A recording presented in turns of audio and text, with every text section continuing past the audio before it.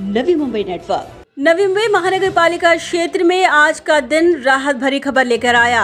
23 अप्रैल 2021 को कुल 675 नए कोरोना पॉजिटिव मरीजों के साथ एक्टिव केसों का आंकड़ा अब 9,312 तक पहुँच चुका है। ऑल इज़ वेल आज नवी मुंबई के लिए ऑल इज़ वेल ये रहा कि 980 कोरोना संक्रमित मरीज़ कोरोना मुक्त होकर डिस्चार्ज कर दिए गए। और इसी के साथ कोरोना मुक्त व्यक्तियों की संख्या में हुआ इजाफा और आंकड़ा पहुँचा अठहत्तर दुखद घटना आज नवी मुंबई में कोरोना संक्रमण से सात लोगों की मौत के साथ कोरोना संक्रमण से मृत्यु का कुल आंकड़ा बढ़कर 1307 तक पहुँच चुका है। तो इसी के साथ डिस्चार्ज मरीजों की संख्या में शामिल है तीन सौ चौरासी महिलाएँ और पाँच सौ छियानवे पुरुष। बता दें कि डिस्चार्ज हुए लोगों में शामिल है बेलापुर से पचासी महिलाएँ, अठानवे पुरुष कोरोना मुक्त होकर डिस्चार्ज हुए।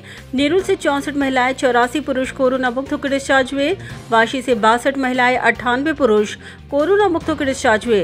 तुरभे से बत्तीस महिलाएँ, उनसठ पुरुष कोरोना मुक्त होकर डिस्चार्ज हुए।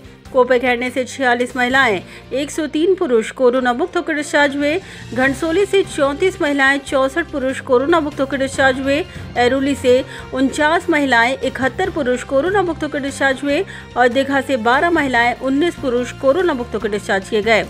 तो चलिए ग्राफिक के माध्यम से समझाने की कोशिश करते हैं कि नवी मुंबई में कहाँ कहाँ पाए गए कोरोना पॉजिटिव मरीज़। बता दें कि बेलापुर में 70 महिलाएँ और बयानवे पुरुष मिलाकर कुल एक सौ बासठ कोरोना पॉजिटिव मरीजों का आंकड़ा दर्ज किया गया। नेरुल में उनसठ महिलाएँ और बासठ पुरुष मिलाकर कुल एक सौ इक्कीस कोरोना पॉजिटिव मरीज़ पाए गए।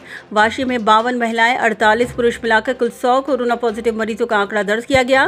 तुरभे में चौबीस महिलाएँ, तैतीस पुरुष मिलाकर कुल सत्तावन कोरोना पॉजिटिव मरीज़ पाए गए। कोपखेरने में इकतीस महिलाएँ, उनचास पुरुष मिलाकर कुल 80 कोरोना पॉजिटिव मरीजों का आंकड़ा दर्ज किया गया। घनसोली में 22 महिलाएँ 35 पुरुष मिलाकर कुल सत्तावन कोरोना पॉजिटिव मरीज़ पाए गए। एरोली में 40 महिलाएँ 50 पुरुष मिलाकर कुल 90 कोरोना पॉजिटिव मरीज़ पाए गए, जबकि दीघा में तीन महिलाएँ और पाँच पुरुष मिलाकर कुल आठ कोरोना पॉजिटिव मरीजों का आंकड़ा दर्ज किया गया।